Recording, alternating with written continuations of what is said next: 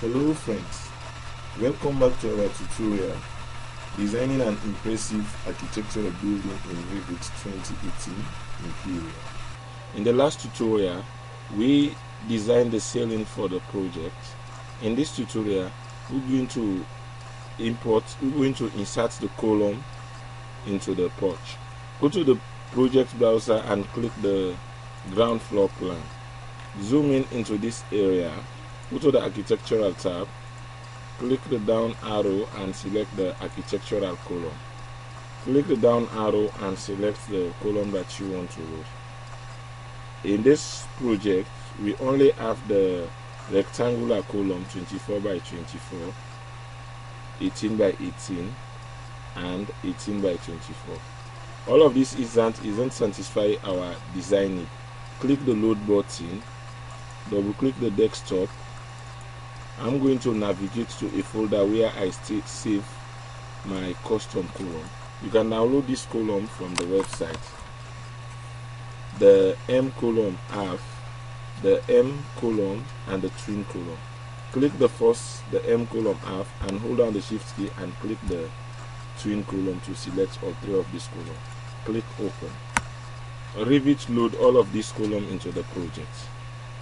Now move into the drawing area and place the column to the porch. Press escape. Go to the 3d view to see the results. Now select the column and change the change the base level to change the base level to foundation plan and the top level to first floor plan. Change the top offset to minus one foot and move the mouse cursor away from the property palette. Change the top offset again to minus 156 and see the result. Click the X button to close this view. Click the modify button to cancel out of current command. Click the scroll bar and change the underlay to ground floor plan. Now zoom in into this area Go to the modify panel, click the align command. Pick the midpoint of this wall and align the center point of this column. Click the padlock to lock the column at the center of this column. Press escape. Change the underlay, in, the underlay to first floor plan. Go to the modify panel and select the align command. Click the center of this wall and align the center of this column to that wall. Click the padlock to lock the column. Now go to the quick access toolbar and click the section command. Draw a section from this point to this point. Right click the section plan and select go to view. Zoom in into this area. Select the column and change the top offset to minus 1 foot 8. Move the mouse cursor away from the properties palette. Change the column height to 9 feet and move the mouse cursor to see the result. Now change the stone pitch height to 8 feet and move the mouse cursor to the away from the, the property palette to see the result. Go to the default 3D view. Hold down the shift key and your middle mouse button to see the result.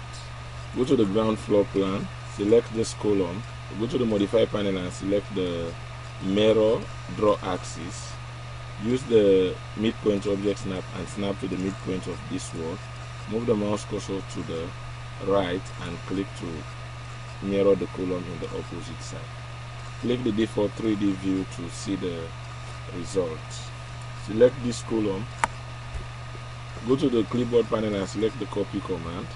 Click the down arrow and select align to paste level select first floor plan and click ok. Now go to the first floor plan zoom in and go to the modify panel and click the align command. Click the center of this wall and align this column the center of this column to that to the center of the wall. Click the padlock button to lock it. Click the modify button. Go to the default 3d view to see the result hold down the shift key and your middle mouse button to orbit. Now go to the front elevation. Zoom in into this area. Go to the quick access toolbar and select the align a dimension command. Click the edge of this beam and the edge of this column. The distance is 2 feet 5 now select this column. Change the stone pitch to 8 feet 5 so the distance between the pitch and the column is 2 feet. Select this column change the top offset to 0 and the base offset to 0 now select this column change the top offset to 6 inches. Move the cursor away from the properties palette. Zoom in into this area change the top offset back to 4 inches move the mouse cursor away from the properties palette to see the result. and go to the quick access toolbar select the align dimension command click on this edge this edge move the mouse cursor away and click select the column change the stone pit height to 6 feet 11 inches move the mouse cursor away from the properties palette click the X button to close this view. Hold down the shift key and your middle mouse button to orbit. Go to the first floor plan. Select this column. Go to the modify panel and select the mirror draw axis. Start the mirror line at the midpoint of this wall. Move the mouse cursor to the right and click. With this column selected, click the down arrow and change it to the M column half. Press the tab key to flip the column into the right orientation. Go to the 3D view, default 3D view to see the result. Click the export button to close. Select this column and nudge the column out of the wall. Now use the align command click the click at the edge of this wall and snap the column to that edge now go to the front elevation.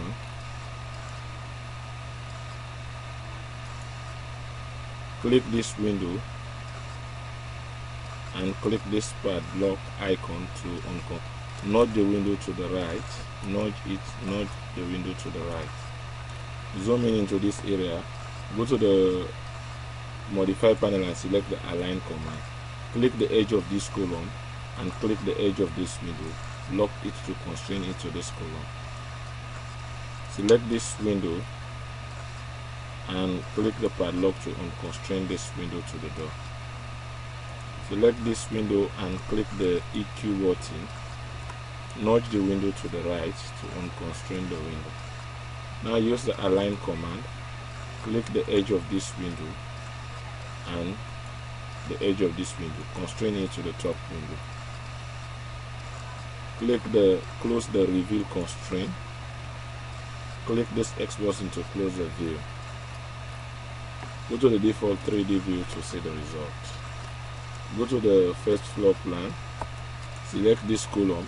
Go to the modify panel and select the copy command. Click at the corner of this column. Move the mouse cursor up. Check the constraint and move the mouse cursor up and click now go to the quick access toolbar and select the align dimension command. Click the edge of this column. And the edge of this column. Then click at the midpoint of this column. Move the mouse cursor out and click. Click the EQ button. Click the modify button. Select the dimension and hit delete on your keyboard. Click on constraint. Go to the 3D default 3D view to see the, the results.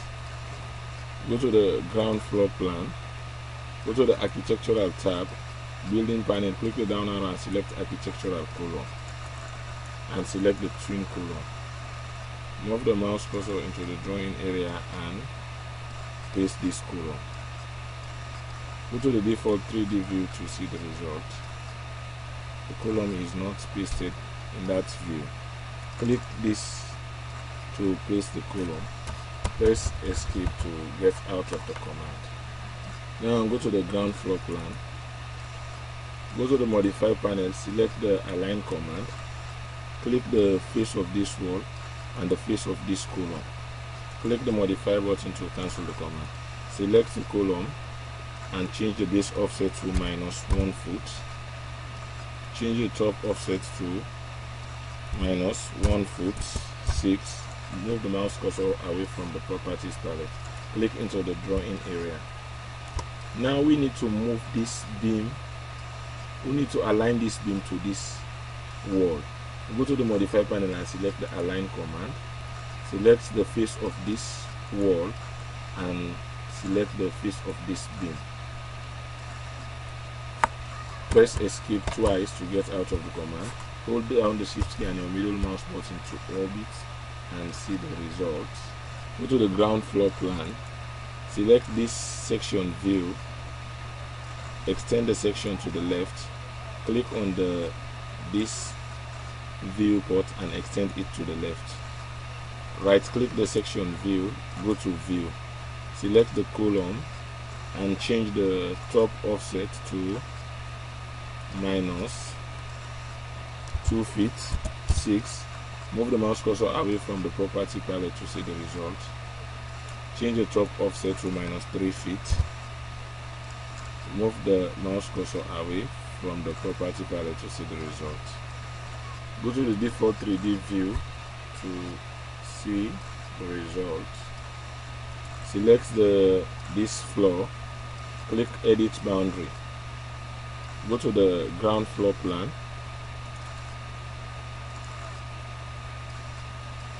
go to the modify panel and select the offset command?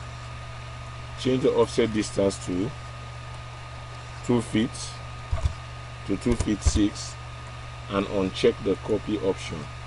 Offset this line to the right. Click ok. Select no. Go to the default 3d view to see the result. In the modify panel select the align command click the face of this floor and the face of this wall. Click the modify button to get out of the command. Select this ceiling click edit boundary click the align command click the face of this wall and click the sketch line to align this wall. Click the green check mark. Go to the ground floor plan.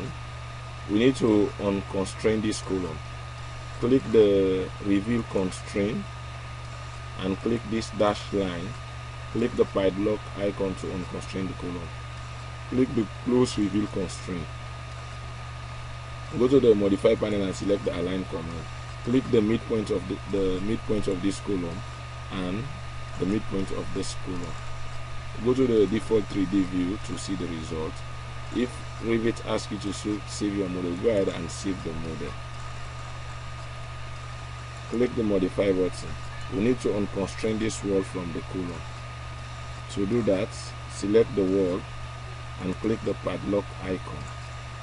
You can also click the reveal constraint to see if there is any other constraint from this beam now select the align command select the face of this slab and the face of this wall. Click the modify button. Hold down the shift key and your middle mouse button to orbit and see the results. Go to the ground floor plan select this section use the move tool and move the section in, inside this spot. Right click the view go to view select the ceiling change the offset height to 8 feet move the mouse cursor away from the properties palette to see the result change the offset height back to 8 feet 10 inches and move the mouse cursor away from the properties palette. Go to the default 3d view to see the results. Zoom in into this area select the ceiling and click edit boundary. Go to the ground floor plan. Select this sketch line. Hover the mouse cursor. You see the move cursor. Click and move this line inside. Go to the modify panel and select the align command select the face of this wall click the sketch line to align it to that face. Select the trim extend to corner button. Select this sketch line this sketch line. Click the modify button. Hover the mouse cursor to this sketch line and hit the tab key. Click once. Hit delete on your keyboard. Make sure that this sketch line align with the internal part of this wall. You can prove this by using the align dimension. Click the face of this slab and measure this sketch line. Move the mouse cursor away and click. Do the same thing from the bottom to the top. Move the mouse cursor away and click. Click the modify button. Now select this sketch line and change the value to 7 inches. Click outside. Select the sketch line. Change this value to 7 inches press enter now select the dimension hit delete on your keyboard select the dimension and hit delete on your keyboard click the green check mark. Go to the default 3d view to see the result. Click the x to close this view. Right click this section and select go to view. Zoom in into this area. Select this wall. We need to align this ceiling. Either we align this ceiling to the edge of the slab or we drop down the wall so that there will be no gap in this area to do that select the ceiling and select the edit boundary. But you cannot edit a ceiling in this view. So AutoCAD give you this dialog box to go to view dialog box. Select the ground floor plan. This open the ground floor plan. Use the align command and align this sketch line to the face of this wall. Click the green check mark, close this view to go back to the previous view and see the results. Click the default 3D view to see the results. Alright, in this tutorial we insert some custom column. If you want to if you want to use the same you can use whatever column that's available to you. But if you want to use this column, you can go and download them on the website. In the next tutorial, we're going to model the flower pot and the front step. If you like this tutorial, please click the like button and share it to your friends. If you have any question, please leave a comment below. If you want to continue this tutorial or any other tutorial on my channel, please subscribe. Thanks very much for watching. I hope to see you in the next class. Goodbye.